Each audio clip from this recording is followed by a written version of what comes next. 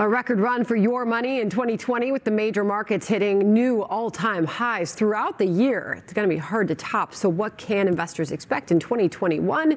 Let's bring in our market gurus. Keith Fitzgerald is here, Melissa Armo, and Scott Martin. Good, happy new year to all of you. We wish for health and happiness in, in the new year. Scott, I'll start with you first. Will we see a repeat of this record market rally? Yeah, why not, right? Vaccine coming through a society, the market at or near record highs, the economy reopening.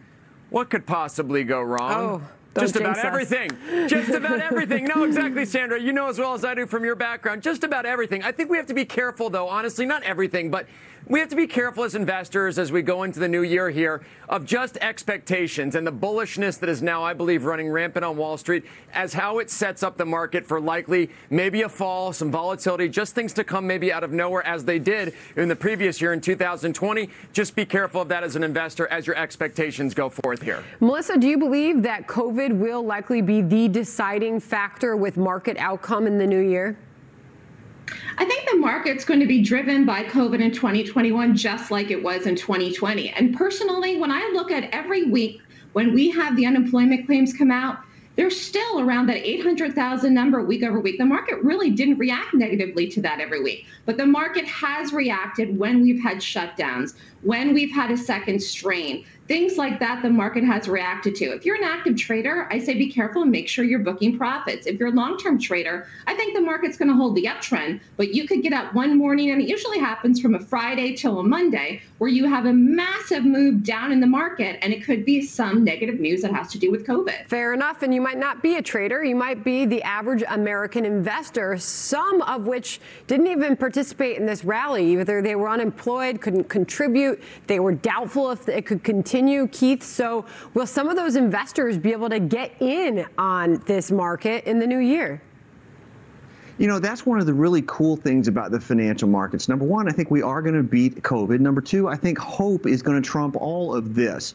And there's no play on words here. I think hope is the aspirational quality that every investor has. So we're going to get some volatility. Most of the time, historically, that's a buying opportunity, but we will beat this virus. If we have the best companies out there with great earnings and strong potential, that's something you want to latch on to for the next three years, five years, 10 years down the road, because that's the time frame that matters, not necessarily the daily squiggles. Oh man, Scott, I hear I hear historic or record volatility that Keith just mentioned. And I think, okay, buckle up because there is going to be so much that we'll learn in the new year. The effectiveness of the vaccines, you know, how many people are able to get them, how many are available in this country. There's so much that we don't know yet and how that's going to play out. I imagine that the markets are going to be tuning in each and every day for any data points on that.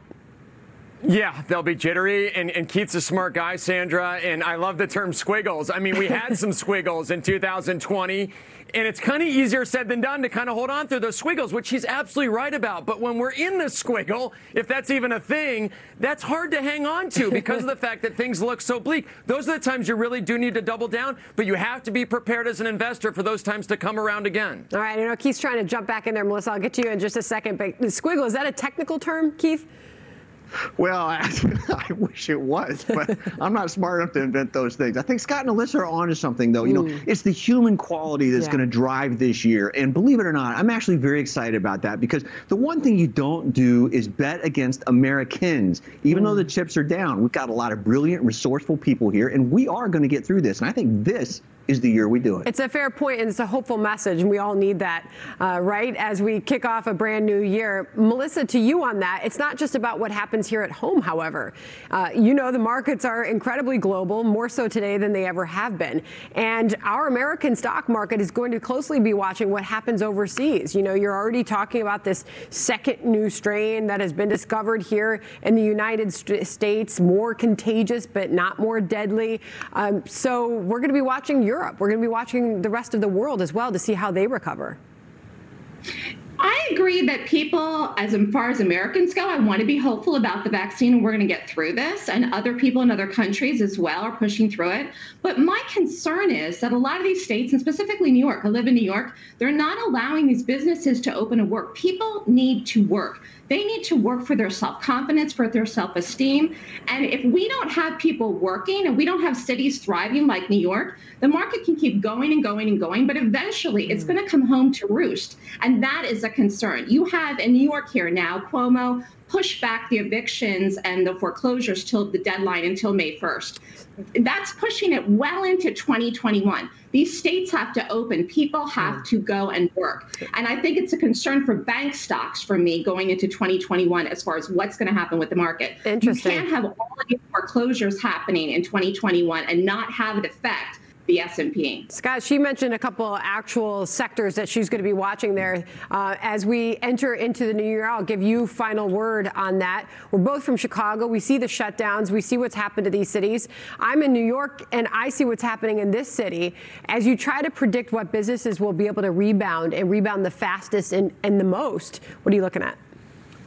It doesn't feel good in either city, Sandra, but I actually like bank stocks. We've been owning financials for the last couple months here because interest rates are likely going to rise as we move throughout 2021 because of all the debts that, that debt that has been issued, my friends. So with respect to higher interest rates going forward, that helps your financial stocks. Keith, final, final. I think you got to be in to win. You got to be best in class, and you got to pick companies with savvy CEOs because there are going to be squiggles, but we are going to get through them. Are we back on the squiggles again? All right. We're We- back on the squiggles. it, it is now a thing, the squiggles. We'll be watching all of it. Thank you so much to all three of you for joining us. Happy New Year to all. Happy New Year. Yeah. Okay.